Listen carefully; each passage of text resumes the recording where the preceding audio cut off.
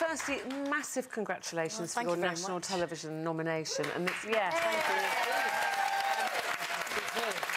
Best serial drama performance. And just looking at that clip, I mean, we watched that, that when it happened, and it's just still shocking to me. Yeah, and you were so to me as well. brilliant. You were Thank so you. brilliant. You well-deserved nomination.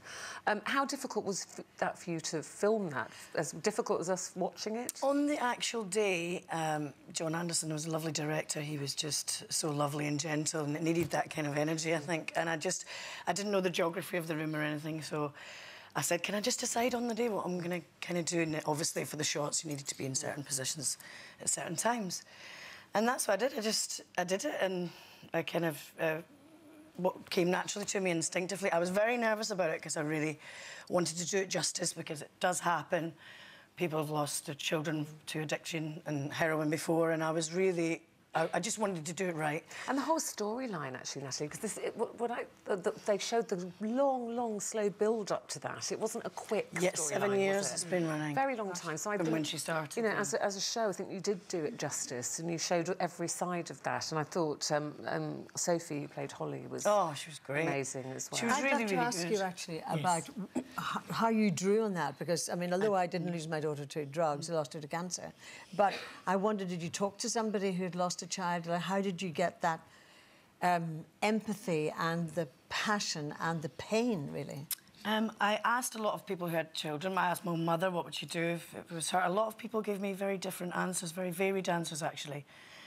My main thing I think I drew on was I just imagined myself in the situation, but on the day it was harrowing to shoot it. You know, it was sad. It was, and obviously for Sophie because it was the end of her story and she was going to be leaving, so it was a very sad moment. And so I just immersed myself in it, to be honest, and I decided not to do the hysteria thing. And I did ask the producers, could we do it differently because she'd already had an overdose previously, and I didn't really want it to be about that. I wanted you to kind of be on that journey with her, It where she realizes. Yeah, it was the pain and the shock. Yeah, the shock because that's something that any mother, any Yes. mo- any parent would be worried about is losing their. And did you You always haven't had a child, you see. That's I why haven't, no, That's why I'm unfortunately, interested I've in not it been able to, so- because I just thought because you were so brilliant on the mm. screen and not having ever had a child, I just wondered how you sort of got that pain out on the screen. So very Just- good, well done. Just Just a cracking actress. on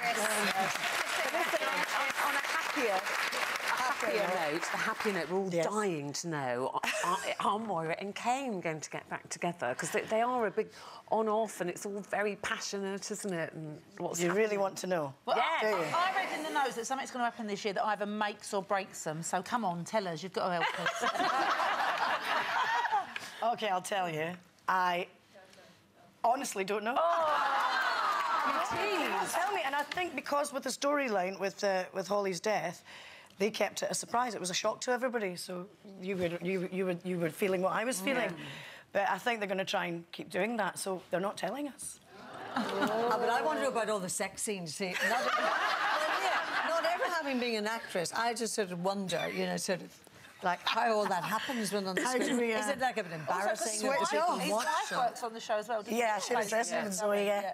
And also with soap, you know, you don't Excuse always we get the got most. that far, Sorry, haven't got the not with soap. No, I'm talking about that. You don't always get like the moody lighting, do you? And sometimes they get, you know, you've got someone No. scratching their bum while she's doing the tape. and you're like, you've got to do this in one take, you know. When Jeff and I first got together, lovely Jeff, um, there was a, sou- a boom operator like there from us when I was got him against the car and you know Margaret's quite feisty when you don't when you see you saw on the clip you don't want to get on the wrong side of her. Do not. But do not. yeah, so I don't know. You just uh, it's, Do you- it's a do you- tough job, get but someone's got to embarrassed? do Do you it. get embarrassed? I always used to get so Um, embarrassed. I don't n- anymore, really. No, it's, it's a weird thing, isn't it? How you just shut off. And Yeah. It's weird, and then you go and have a cup of tea with his wife afterwards. It's really. So that was you always wanted to kind of be in this in Well, the that was my big world. brother that actually entered me into that competition. He's coming to the NTAs actually. Yeah. Um, he's, he's really Is he your excited plu- is about he it. your plus one? He's my plus one. When you're nominated, you're allowed to guess. Is he going to wear a kilt? He is going to wear Yeah. a kilt. In true, in true Scotsman style as well. Have you got Have you got your frock sorted? Uh, it's a big mm, night. um, I I've got two options, so I've not. I haven't decided yet. So. Keep it, yeah, keep. it. Well, listen, we wish you the best. Yeah, um, it thank is you very the much. best serial drama performance, and we really hope wish you luck with that. And also vote Emmerdale as well. Yeah. I'll get in Yeah, trouble Natalie, don't say very well, that. everybody. We get some pretty fabulous guests here on Loose Women. There's plenty more where that came from. Just click here to watch more interviews with a whole range of famous faces. And click here to subscribe. It's free, so you'd be silly not to, really.